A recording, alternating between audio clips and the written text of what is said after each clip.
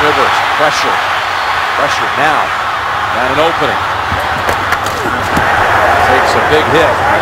Back on his feet. Rivers, who doesn't miss games, has never missed a game since he took over as starter back in 2006. Got the second longest active streak in the league to Eli Manning.